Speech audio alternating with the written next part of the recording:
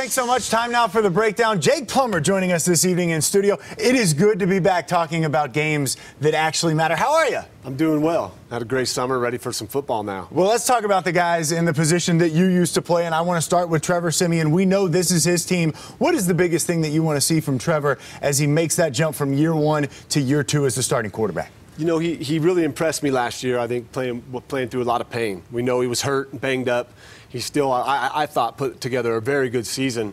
But now that he's proven he can play and play hurt and gain the respect of these guys. Now is to see what, what he does next. Like, how does he galvanize that whole locker room and become that leader? And I want to see, like I always tell him, a little fire, a little, have some fun out there. Show us something we haven't seen. Well, what does it say about Trevor that it's the second year in a row he's had to win the job in training camp, and then he gets voted a team captain? It's clear that the guys in that locker room really respect him and look up to him. Of course, and from my early conversations with him when he was just starting to, to try to crack into making the team, I said, you got to earn your respect. But once you do, it's, that's when special things can happen. And obviously, the team, the guys the, the, in that locker room feel this, that he's their guy, the leader of this team. So it's going to be fun to see him go out there as that from the start and see what he can do. Let's talk about the guy that they brought in to back up Trevor, at least yep. to start the season, and that's Brock Osweiler. What did you make of the decision to bring Brock back?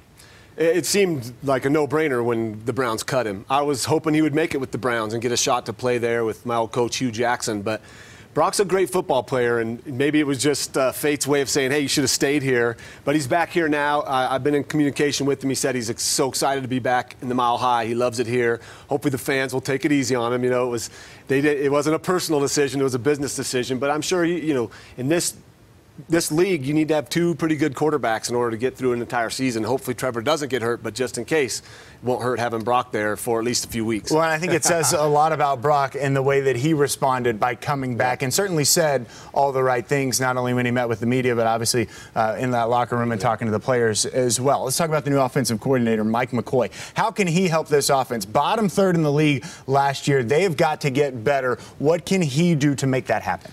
Well, he, has got to take what he has, one, and, and, and be, become lethal in some way. Uh, you got two superstars, Demaryius Thomas and Emmanuel Sanders, but who's going to fill in as that third receiver? Are we going to get a tight end catching more routes, or is, there gonna, is Fowler going to step up? Latimer? Who's going to be the guy to like?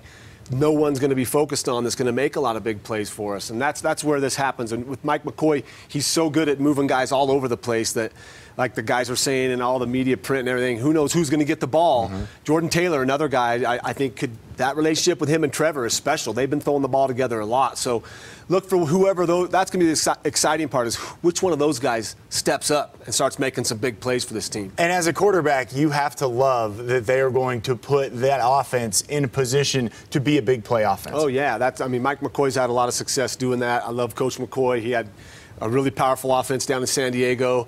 Uh, he's got a lot of talent, and they've beefed up the O line. So, you know, Trevor's sitting pretty with a lot of weapons around him. It's going to be a tough season. There's no clear cut favorite, I don't think, right now in the AFC, and a lot of tough teams to go against. So, Trevor, have your head on a swivel back there with these rush ins coming up, but go out and make plays and have fun, and, and it'll be fun to watch this team grow. Quickly, how important is it to establish the running game early and keep that going throughout the season? We know they brought in Jamaal Charles. How important is it for guys like CJ and Devontae Booker when he's back to have a big impact on this offense? Well, it starts in the middle. Matt Paradis, I mean, that guy, he's a he's consistent. He doesn't miss plays. So from there and spread out, they beefed up the O line. There's no reason why this run game shouldn't be that much better. Devontae Booker's got another year under his belt and CJ's going to bring it. You know that. And so, we'll get our first look at that key. tomorrow night. Much more ahead tonight on AutoNation All Access. Jake Plummer, as always, thanks for dropping yeah. by.